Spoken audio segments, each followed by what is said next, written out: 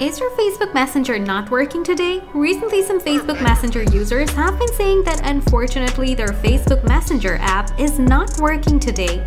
Now, if you find that you can't use login or can't use or if you can't send a message or receive a message, then you need to watch this video to learn a quick way to solve the Messenger not working problem on Android.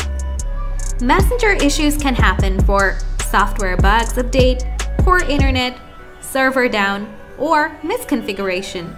So, let's get started. First, you need to fix your internet issues.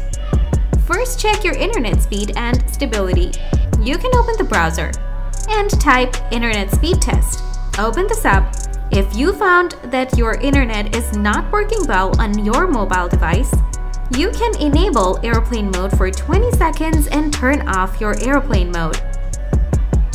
Or you can switch your mobile network from Wi-Fi to mobile data or mobile data to Wi-Fi. Check the Messenger server. If the Messenger server doesn't work, the Messenger app won't work correctly. So, you can check the server. To check server, open a browser on your device. Type www.isitdownright.com. Open, you come over here on this page.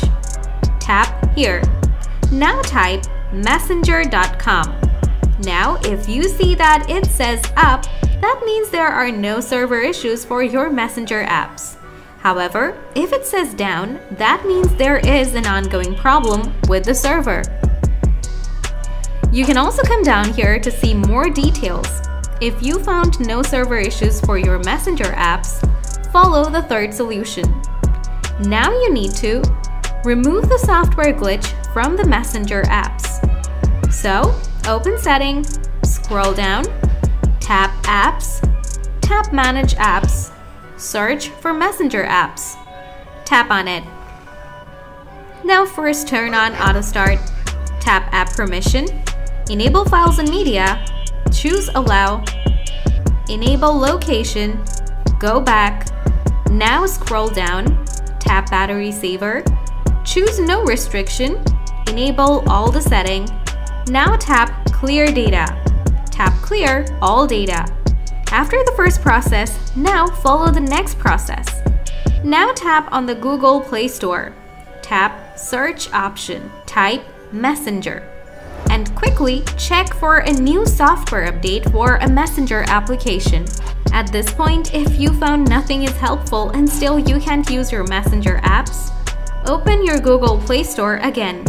Now you need to type Messenger Lite. Now use this application for a short period and you can solve your problem too.